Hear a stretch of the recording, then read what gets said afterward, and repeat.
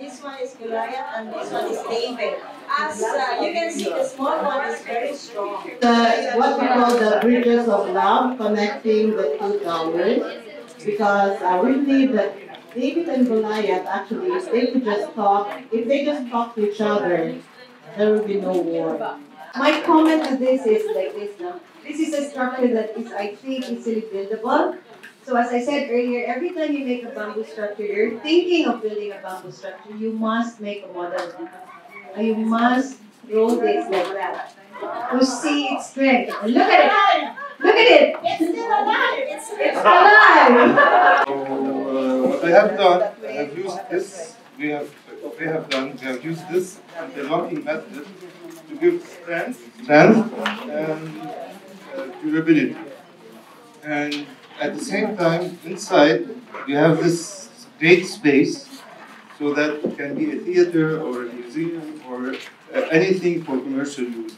So uh, what we have here is uh, a prototype of a bamboo.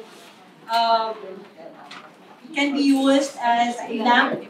Um, when it's done, actually, it has to be covered all throughout, but ilang time, so basically that's it lang. We just um, inspired by the different papers that we discussed earlier today. So we just uh, move around it to form the structures.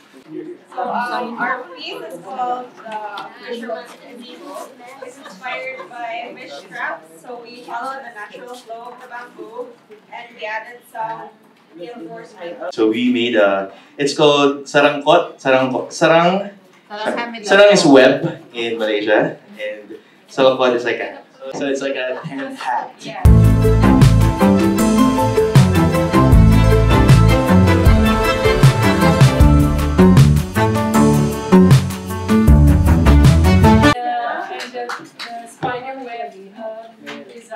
Design is the brand that's the idea. So that's why it's called sarangkot, which is sarangkot, like a spider web hat. like a leaf shaped chair, like a lounge chair. But I couldn't decide what to do for the legs, so now it's just the kind of leaf shaped. You can move it depending on the weather, depending on the movement of the planets, etc.